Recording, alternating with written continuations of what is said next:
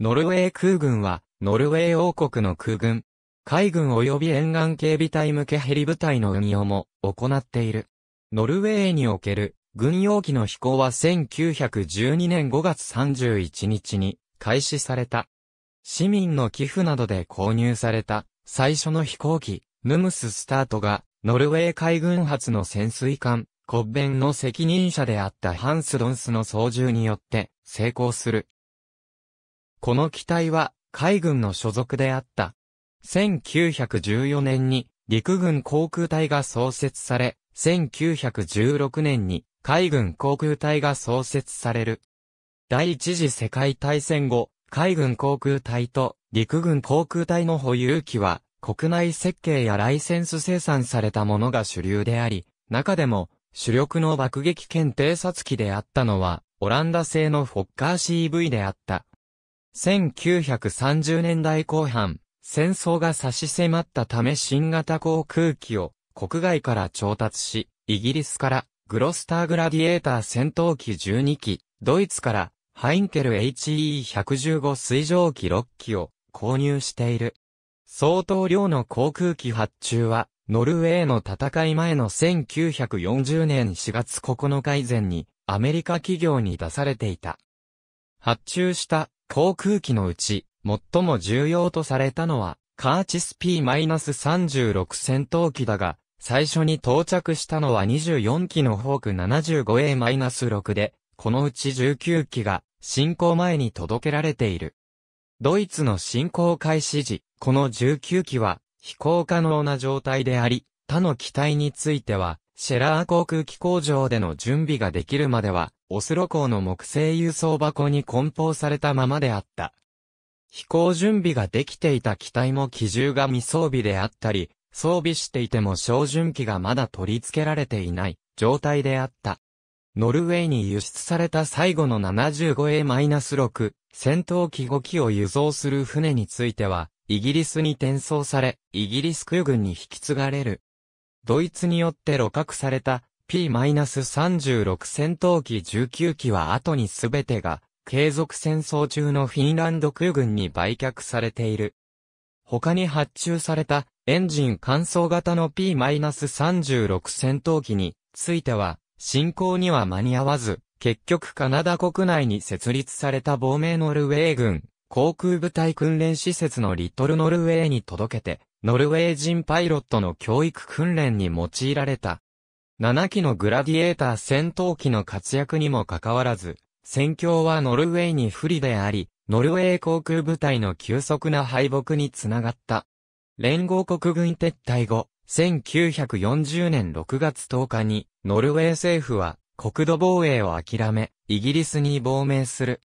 ノルウェー軍航空機にとって、現実的な亡命先は最後に残された北ノルウェーの基地からフィンランドに脱出することであった。亡命に成功した陸軍航空隊と海軍航空隊はイギリス軍の指揮下に入り、第331飛行隊と第332飛行隊がスーパーマリンスピットファイア戦闘機を運用した。1941年には陸海軍航空隊の統合航空司令部が開設されている。1944年11月1日、命令により、陸海軍の航空隊が統合され、王国空軍が創設される。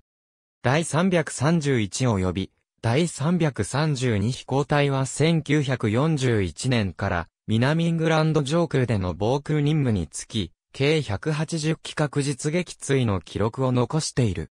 1945年5月8日までに、ノルウェー王国空軍は、将兵355人の命を失っている。ラフトベルナーティレリートは、所属変更が繰り返されている。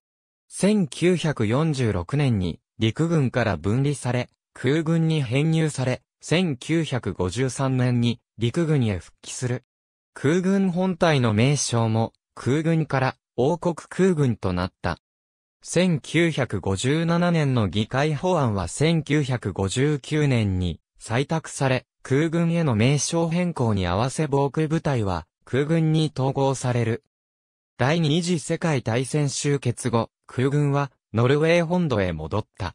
スピットファイア戦闘機は、その後も運用が続けられ、1950年代まで保有している。1947年に警戒管制部は最初のレーダーシステムを購入し、同時期に初のジェット機であるデハビランドヴァンパイアを導入した。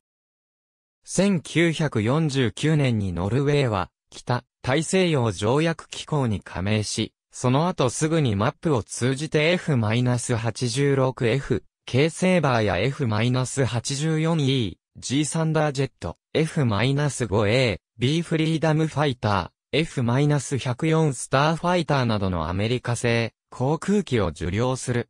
冷戦の拡大は空軍の急速な増強をもたらした。冷戦時代、ノルウェー空軍は NATO 空軍の一員としてソビエト連邦と国境を接するトルコその他と共に領域の防空に責任を負った。ソビエト連邦に国境を接することもあり、ソ連機に対し毎年平均500回から600回のスクランブル発進を実施していた。2002年10月18日、アフガニスタンでの普及の自由作戦の一環として、ノルウェー空軍、デンマーク空軍及び、オランダ空軍は、オランダ空軍の KC-10 空中給油機を、含む3カ国共同の F-16 戦闘機部隊を編成し、NATO 地上部隊を支援するためキルギスのマナス空軍基地に派遣される。2005年には F-16 戦闘機4機が北大西洋条約機構によるバルト3国の領空警備のためにリトアニアに派遣されている。2006年2月以来、オランダ空軍の F-16 戦闘機8機と、ノルウェー空軍の F-16 戦闘機4機は、合同し、国際治安支援部隊の主力が展開している、南部アフガニスタンの地上部隊支援に出動している。この空軍分遣隊は、第一オランダノルウェー、欧州参加部隊遠征航空団として知られる。2011年にはリビアでの操乗に橋を発したリビア飛行禁止空域が設定され、警戒飛行を実施するため F-16 戦闘機を派遣している。